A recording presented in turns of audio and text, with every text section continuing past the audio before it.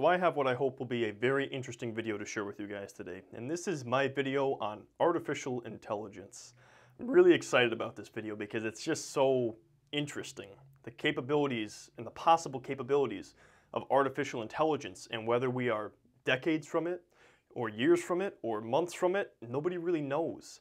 So I'm going to kind of dive into what artificial intelligence is, where we are with artificial intelligence, the future of artificial intelligence, and then the main concerns we have about artificial intelligence. Now the reason I'm doing this video is mostly because, first of all, I find this stuff to be very interesting. Second of all, I was doing a video talking about NVIDIA stock. Uh, if you guys are new to my channel, maybe you stumbled across this video and you haven't seen my other ones, I mostly talk about investing related topics. So I was talking about NVIDIA stock and we were talking about how they have technologies that may be useful in the artificial intelligence space and things like machine learning and um, just other technologies that are emerging, these things that don't even really, I mean, they do kind of exist, but there's just so much growth potential with these areas of study.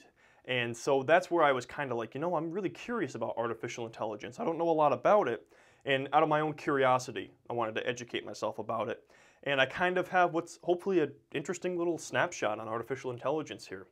So basically, artificial intelligence is the science and engineering of making intelligent machines and computer systems.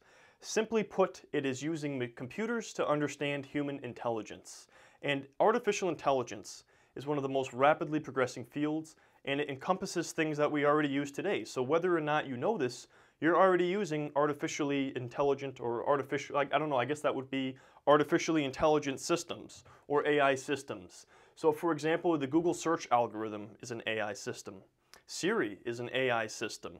Self-driving cars that are kind of starting to come to the forefront, those are going to be artificially or artificial intelligence. That's kind of a weird way to say it. I'm just going to call it AI systems so I'm not tripping myself up here. Self-driving cars are going to be AI systems. Uh, and the ones that are out there today, the assisted driving cars are AI systems. Autonomous weapons, AI systems right there. So there's just a couple of examples. But I don't know if you guys watched the, uh, the, the recent um, I don't know, remember what it was. Apple had a uh, worldwide, what is it, developers conference. Uh, if you guys watched that, they were talking about how Siri is going to have a voice change and it's going to sound more human-like. So that was kind of cool, but it's also kind of weird because it's like, man, we're going to cross a line here where we really can't discern what's human and what's uh, machine or computer, you know? So that's kind of cool, but also kind of crazy because it's like, we're, this is moving fast. This is moving a lot faster than maybe we thought it would, but that's just how technology is moving these days. Okay, so basically when we look at artificial intelligence, there's two different categories of it. We are in what's called narrow or weak artificial intelligence. This is where we are today. This is basically systems that are designed to perform a narrow task or one specific task. So Google search, uh, search algorithms, that's a, that's a, that's a narrow task. Um, driving a car, that is a narrow task, okay? Um, something like, you know, an autonomous weapon there, you know, picking a target going towards it, that's considered a narrow task. What it basically means is there's other aspects of human involvement that are needed for this task to be completed. Now the future of artificial intelligence is what's called general or strong AI. And this is basically uh, a type of system that is going to be designed to outperform humans at cognitive tasks. So the whole task itself, not just individual aspects of the task, the entire task, all right? So this is the best way to look at it. Narrow AI is better at one specific task or equal to what humans can do at one specific task. So maybe it's keeping a car within the lines. That could be one narrow AI task. And our systems may be equally good or better than humans at doing that task. But we're going to see when we get to general AI, where basically these systems are better than humans at every aspect of that task. That's where things start to get kind of scary. That's where you're kind of like, wait a second, if machines and computers are better than us, why would anybody use us humans? Why not just use those computers and systems? And that's where people are kind of like, this is some scary stuff we're getting into. So obviously there's one big problem with artificial intelligence, and that is security and safety. So first let's just do an example here of just a couple of scenarios. So this is a scenario that a lot of us deal with. I just dealt with this two weeks ago, believe it or not.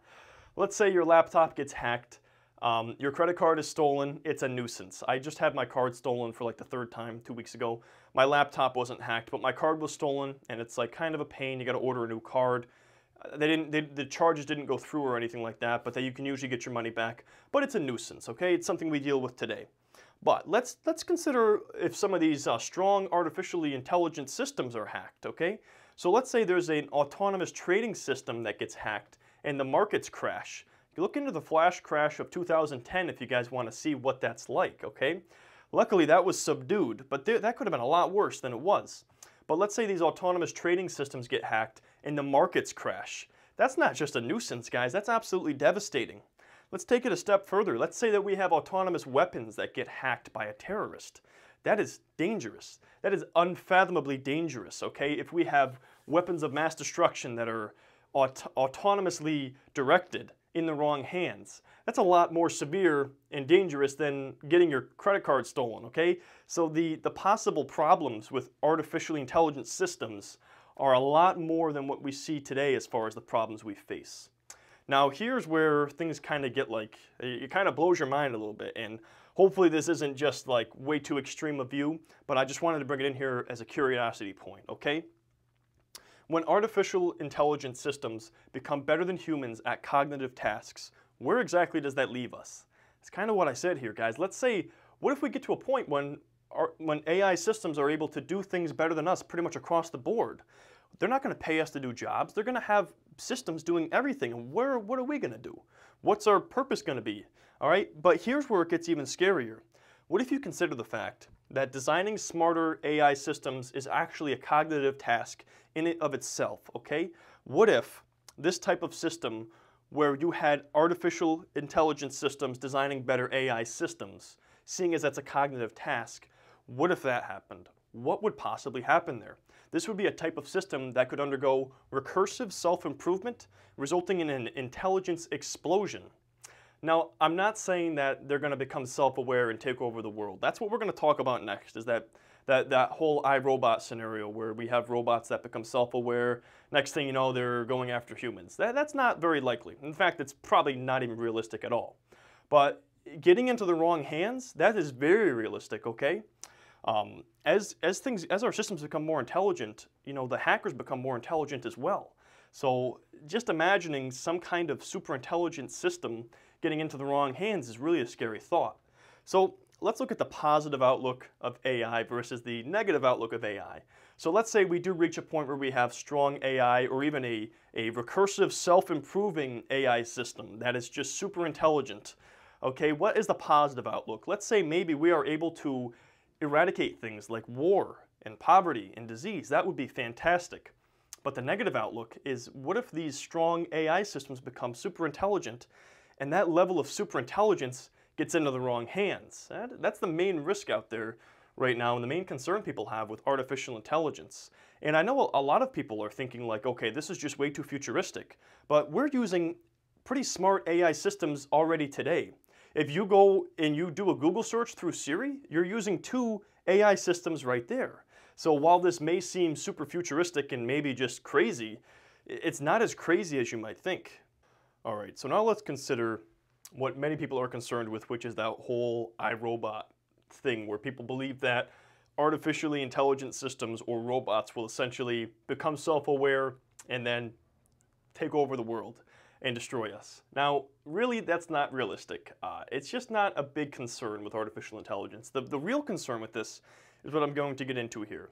But superintelligent AI is unlikely to exhibit human emotions or become self-aware as people are concerned with. But the other concern for AI is still very dangerous. But there's no reason to fear strong AI systems becoming intentionally malevolent. That doesn't mean that they won't become unintentionally malevolent though, and let me explain why that is. Let's say strong AI systems develop a destructive method of completing a task, or basically they do things via the path of least resistance. Let's say they want to complete a task as efficiently as possible, and in doing that, this becomes destructive. They're not intentionally doing this, they're doing what they're designed to do, which is outperform humans and complete tasks as efficiently as possible. So let's look at two examples here. Now this first one is pretty far-fetched, okay? But it's a good example of this, put very simply. Let's say you got in your, your driverless car, okay, and you said, take me to the airport the shortest possible way. And then all of a sudden, that car goes 100 miles an hour in a straight line to the airport, driving you through the woods and, and then it kills you, okay? Obviously, there's systems in place where that wouldn't happen, but that's just one example of where we are directing a, an AI system to take the path of least resistance, okay? Here's another example. Let's say we're using strong AI systems to mine for resources, and while doing that, they destroy the environment, okay? Because they are going for resources that are in areas that they shouldn't be mining in, and next thing you know, they destroy the environment, okay? The bottom line, guys, is that strong AI systems need to have their goals aligned with our goals. So we need to consider things like, yes, we want to mine for resources, but we don't want to destroy the environment. Yes, we want to get to the airport as fast as possible, but we want to stay on the road, okay? Basically, we need to make sure these intelligent systems understand that we want things done in a safe way. We're not looking for the absolute easiest and, and well, the, the, basically the, the path of the absolute least amount of resistance. We're looking to do things in a functional way that keep us safe, but doing them as, as well as possible and as fast as possible. So the big concern with AI is that we need to worry about whether or not the goals of this AI system are aligned with our goals. And that's the main concern, certainly more of a concern than these systems becoming self-aware and attacking us. This is a much more realistic fear is that we won't program them properly and they will end up doing things in, in destructive ways or being unintentionally malevolent. And the other big risk too, like we said earlier, is these AI systems getting in the wrong hands. I would say those are the two main concerns people have with AI systems. Now here's what's interesting to me. Who's concerned about AI? Is it the people who stay in their basements wearing tinfoil on their heads? No, it's not. It's very, very intelligent people that many people look up to. Here are just a couple of people who have expressed concerns about artificial intelligence. We have Stephen Hawking, we have Elon Musk, we have Steve Wozniak and Bill Gates. All of these people have expressed concerns about artificial intelligence and how we need to make sure the goals of these systems are aligned with our own goals. So I have just a few final thoughts on this video about artificial intelligence. Number one is what I said in the beginning. The, the, timeline for strong artificial intelligence is largely unknown. It could be years down the road, it could be decades down the road, it could be sooner, it could be a lot longer. Nobody really knows for sure, simply because it's such a new field. And it's just hard to say. It's, it's like trying to predict the stock market. It's trying to predict when AI systems are going to reach this level. It's impossible. There's no way to predict for sure. And anybody who is, be very skeptical of what they're saying because there's no really good way to determine when we're going to re reach that level of sophistication that there's strong AI systems beating us at cognitive tasks. It's hard to say. So there's no timeline for this. So starting to be worried about it now is probably not realistic, but we need to plan for this. That's the most important thing. We need to plan for these strong AI systems and making sure basically that the goals of these systems are aligned with our goals. Number two is the fact that many cognitive researchers are concerned about they're concerned about artificial intelligence. It's not just the people that are, maybe, maybe people look at them and call them crazy, the people who are worried about aliens and stuff, you know? It's not those group of people who are worried about AI. It's very sophisticated cognitive researchers and people like Stephen Hawking and Elon Musk who are very smart people. You can't argue with that, okay? These are very intelligent people who are worried about AI, not, not these crazy wackos at all. So to think that this is just some crazy science fiction thing, it's really not. I mean, maybe some of this is, but largely a lot of this is very realistic. And number three is just like I've said many times here, the biggest risk of AI is not these systems becoming self-aware, but basically the systems not having their goals aligned with ours. Anyways, guys, that's pretty much all I got in this video. This is artificial intelligence in a nutshell and the main concerns with it. If you guys enjoyed this video, please drop a like. I would also love to hear your feedback on this. If you guys know anything more about AI that I haven't shared here, or just any feedback for this video, drop me a comment below and I'll make sure to reply to any of those. And if you guys are new to my channel, please consider subscribing to be notified of any future uploads. And as always, I thank you guys for watching this video.